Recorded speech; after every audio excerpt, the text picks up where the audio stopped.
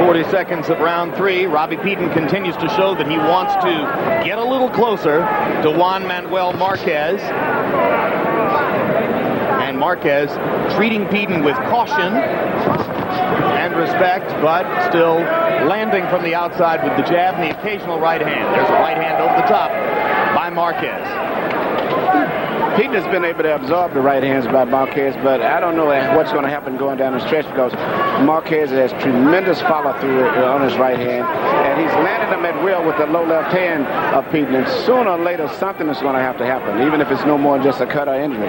Now, this is exactly what you spoke to Robbie Peden about during the meeting yesterday, Emmanuel, when you said to him, you know, you hold your hands low and you're going against a big puncher. And he said, yeah, I know. But I'm going to have to hold my hands higher. Yeah, and then he said, if I do hold it low, I'll make sure I'm on the other side of the ring. that was okay during the fighters meeting, but now in the heat of the battle, he's coming in and still is getting hit with those right hands. Well, it's one of the oldest stories in boxing. If you have a habit, and it's a long-standing habit, you may say you'll change for a given fight, but odds are once you're in the ring, you'll do what you've always done. And what as the fight is progressing now, obviously Peden has become a little bit more lax, a little wider with his punches, and Marquez has maintained his same level of balance and position. Marquez remembering to go to the body.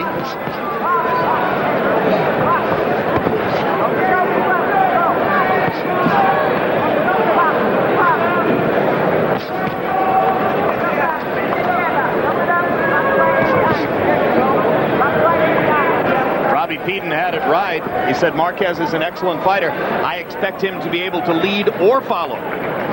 And indeed, Marquez can counter when Peden tries to get off, or he can set up his own attack, as he shows you there.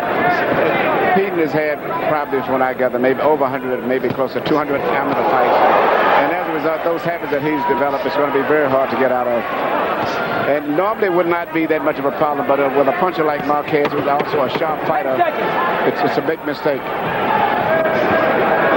Robbie Peden so far has shown that he has the chin to take good stuff from Juan Manuel Marquez. The bad news is that Marquez is landing good stuff.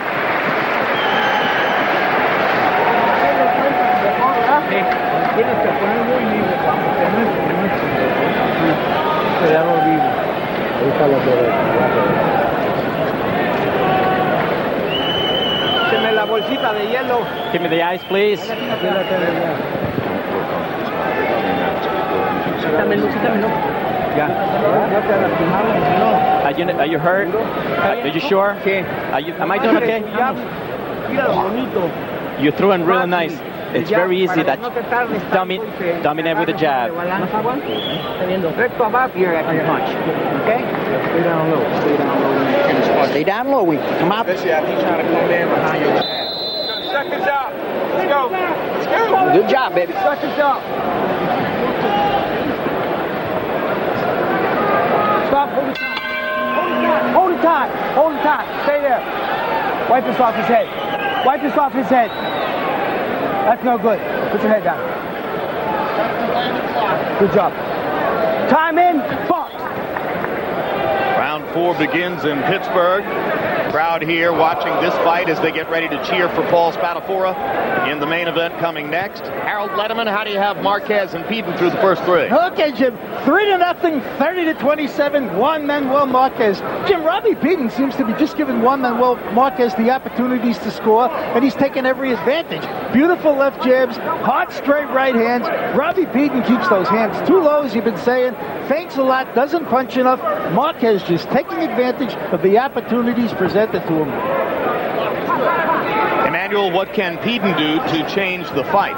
I think Peden has to be busier, and he has a jab more, but he should jab with his jab, jabbing a high. That way he can uh, defect a lot of the right hands that may be coming over. He be jabbing at Marquez's left eye. The, the thing is, he doesn't utilize his jab too much.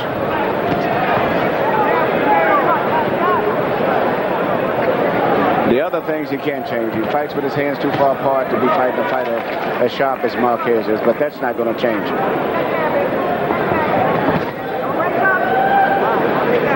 You see how low Robbie Peden holds his hands as he sets up.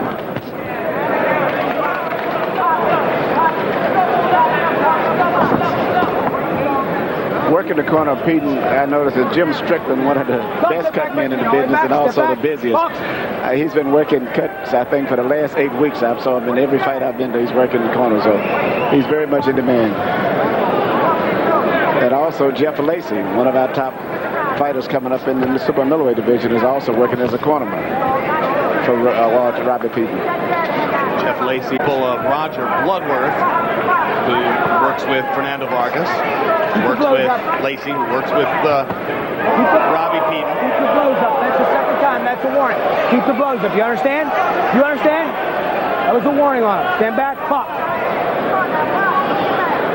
Probably Bloodworth's prize pupil has been Vargas.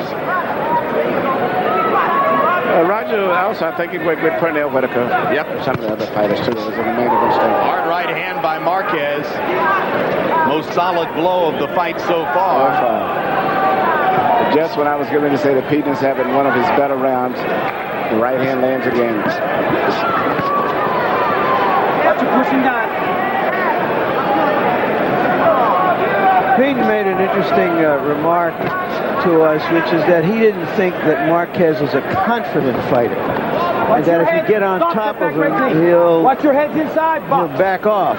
He won't be as aggressive. But so far, he just hasn't done enough to bring out that lack of confidence if it exists. If anything, he's made him a more confident fighter. But now, Marquez has a bloody nose.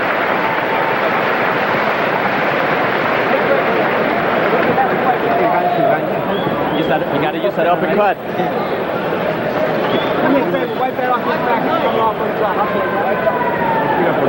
Breathe in with, through your mouth. Keep using that. Keep using that, that uppercut. He's almost gone. You're winning this fight by a very little margin, but you're winning this fight. Emmanuel, let's take a look at a package of right hands by Marquez. Yes, the right hand has been the signal to punch throughout this entire fight, more so than any other one particular punch, mainly because of the low left hand of Robbie Peden. So Marquez landing there, a lead right hand. Landing the right hand behind the jab. Landing the right hand countering Peden's left. Every variety, right? Every right, and even when Peden is jabbing, he jabs with his elbows bending slightly out to the degree that you can land a right hand at the same time that he's going to deliver his jab. That's part of the importance of keeping the elbow straight when you jab, huh? That's very true. With the maximum distance between yourself and the opponent while you land the punch. Jabs through round four, incidentally. Marquez 35 out of 95 by CompuBox estimate. Peden only 12 out of 83. Peden averaging only 38 punches per round, so Marquez has been able to limit Peden's activity somewhat by landing all those right hands that you saw in the replay package. And there's another right hand over the top back, right, back. By. Juan Manuel Marquez. You know, coming into the fight, primarily everyone was expecting Marquez and respecting him primarily for his big punching power. But he's shown a great display of boxing talents today, which has impressed me also. I don't recall him um, being willing to back up, move forward, change up. Uh, he's become a more complete fighter uh, over the last couple of years. Well, he has a good sparring partner, probably, than his younger brother. We asked him if he felt uh, any friendly competition with his brother, that now that his brother has suddenly emerged as a serious fighter in his division, does he feel any pressure to perform? Um, but he wouldn't bite. No. He doesn't feel that as the big brother he has to be the big brother. That was a good example of good balance right there. He threw a looping right hand, missed it, and was still in position where he could come back with a left hook at the same time.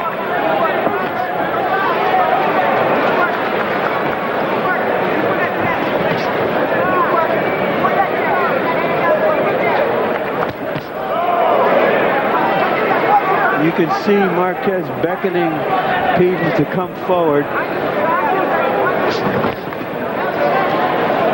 I I was listening in the corner to Nacho Beristain advising Marquez to shoot more uppercuts. But when you shoot uppercut as a lead punch running in like that, you're leaving yourself wide open to get caught with a counter punch at the same time. And it's very dangerous. I was surprised for him to tell him to shoot that. Just ask Buster Douglas, who tried an uppercut against Evander Holyfield and found himself flat on his back giving away the heavyweight championship. That's right. Straight right hand will always beat an uppercut when you shoot as a lead punch.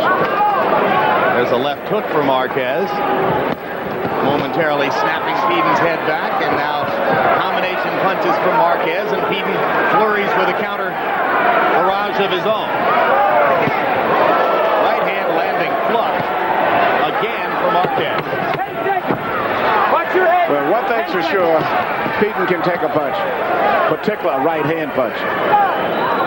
Partially because he is a proud Mexican. Juan Manuel Marquez says if he wins this fight, he doesn't necessarily want to accept the title shot against IBF title holder Manuel Medina, which is the prize at stake here. He'd rather fight for the WBC crown, which at the moment belongs to Erik Morales. Let's take a look at the top fighters in the division, Larry, as Morales and Barrera get ready to square off against each other again. Barrera and Morales still regarded as 1-2. Hamed making his comeback in a couple of weeks. Smoke Gainer has a title but hasn't fought in more than a year. There's Marquez and Paulie Ayala, who is uh, being groomed to fight uh, Barrera or Morales, whoever wins their showdown in June. You let them get too close. And if Robbie Peden can upset Juan Manuel Marquez, he would move into the list. But right now, Peden's getting busted up.